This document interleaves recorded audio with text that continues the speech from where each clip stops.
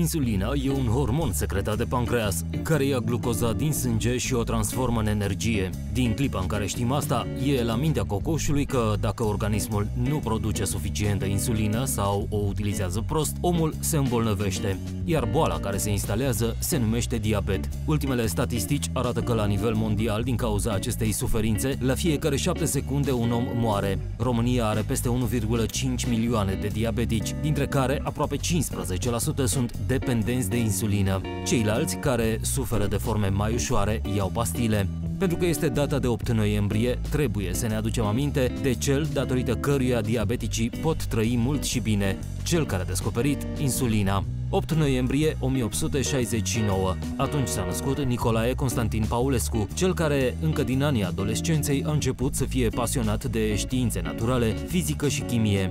A studiat medicina la Paris, iar la doar 22 de ani lucra deja într-un spital parizian. Nu s-a oprit din studiat, a urmat cursuri de chimie biologică și fiziologie generală și a obținut două doctorate în știință. Deși a primit numeroase oferte de a profesa în Franța, Elveția sau Statele Unite ale Americii, Paulescu a ales România.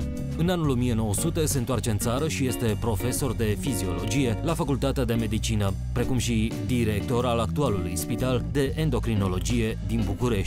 În 1916, Paulescu publică o cercetare nefinalizată despre pancreas, substanța pe care o secretă și diabet. Apoi, Paulescu este implicat activ în primul război mondial și e nevoit să oprească cercetarea, pe care o reia când revine de pe front. Pancreină va fi numele substanței secretate de pancreas și ajunge la concluzia că aceasta ajută la reducerea cantității de zahăr din sânge, deci la ținerea diabetului sub control. Pancreina lui Paulescu este ceea ce noi cunoaștem astăzi drept insulină.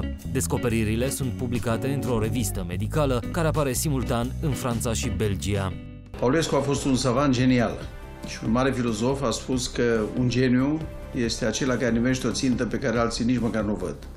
În 1922, România îi acordă lui Paulescu un brevet de invenție pentru descoperire. Cu toate acestea, la mai puțin de un an diferență, doi cercetători canadieni anunță că au descoperit insulina, iar în 1923 primesc drept apreciere premiul Nobel, care ar fi trebuit să fie al românului nostru. Cei drept, Paulescu făcuse experimente doar pe animale, în timp ce medicii canadieni testaseră deja insulina pe om. Conștient că s-a făcut o nedreptate, fiziologul Ian Murray a cerut redresarea situației. Abia la 30 de ani de la moartea lui Paulescu, acestuia i s-a făcut dreptate când vicepreședintele Nobel i-a recunoscut public meritele. Paulescu moare în 1931 și este înmormântat în cimitirul Belu din București.